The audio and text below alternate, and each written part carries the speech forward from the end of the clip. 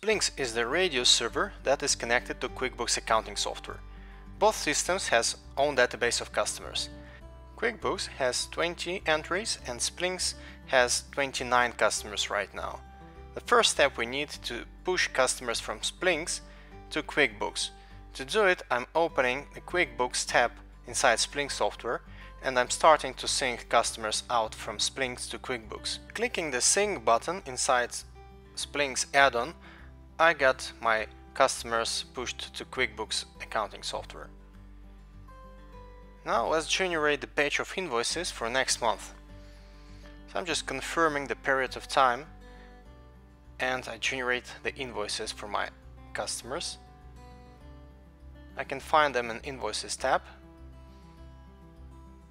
so here we see the period of time for generation of invoices and also I can sort my invoices and I see the paid and unpaid invoices. And important is QuickBooks ID field. The QuickBooks ID field will start to appear as soon as Splynx pushes the invoices to QuickBooks software. So now I have all invoices sorted based, based on ID and I have the IDs inside the QuickBooks amount is 795 unpaid and 559 paid. The same information was pushed to QuickBooks.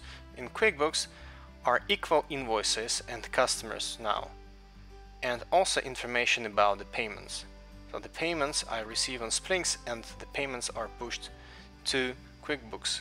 Let's add one payment on Splynx. Now I can find the payment in the payment section inside the Splynx and here I see there is a QuickBooks ID and when I find the client which is named Leo Rodriguez here I will see that the payment was also added to his account. That's the last payment. Let's choose a different customer and let's try to pay his account from his customer portal and credit card. So this is the customer Stefan and invoice is not paid. I'm logging to his portal and I can pay a credit card.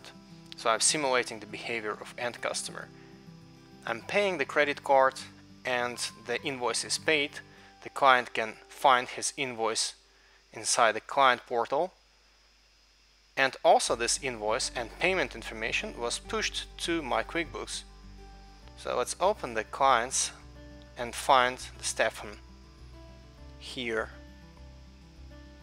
Yes, here is the last payment and if I click on the payment that even will show me that it was paid by credit card and Authorize.net payment gateway was used. Here it is. So this is how Splynx can be integrated with QuickBooks software and thank you for your time.